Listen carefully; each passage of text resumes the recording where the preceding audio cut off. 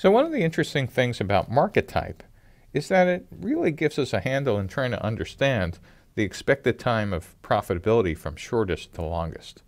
Take a look at the list below and rank the markets in order of expected time to profitability.